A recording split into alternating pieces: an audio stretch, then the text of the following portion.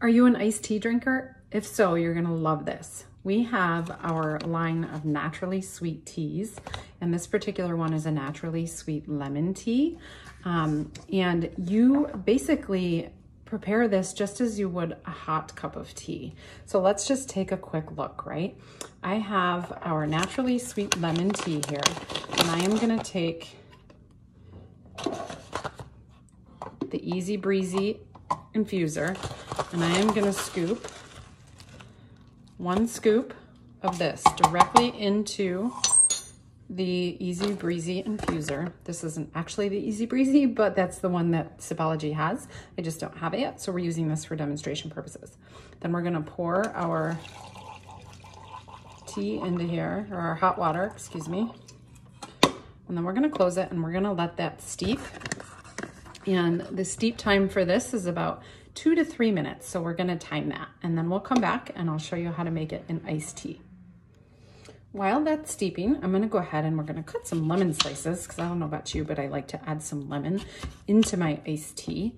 So we're gonna just cut a few slices here.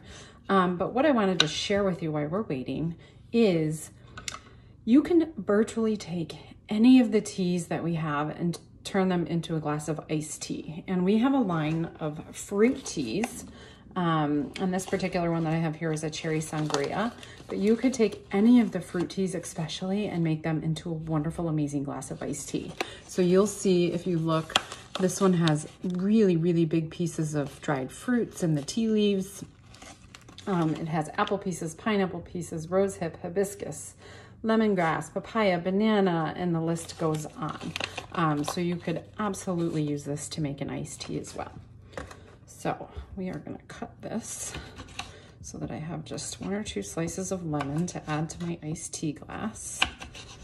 All right, so I'm gonna slide this out of the way.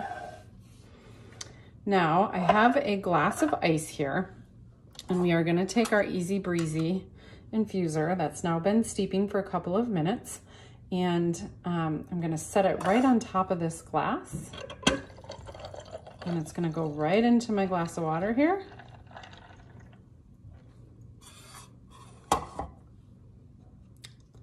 And then I can squeeze a little bit of lemon in there. And if you want to add some of your own sweetener, you can certainly do that as well. I don't like to add sweetener to mine.